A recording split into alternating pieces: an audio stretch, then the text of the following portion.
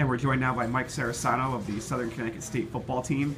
Uh, Mike was named the Connecticut Army National Guard Player of the Week for this week and uh, made the Northeast 10 uh, honor roll for the week after a 16 tackle, one and a half sack performance against Pace. And, uh, let's talk about your performance and how you felt the team played on Saturday. Uh, I felt the team played really good. Our defense was uh, really good as a whole.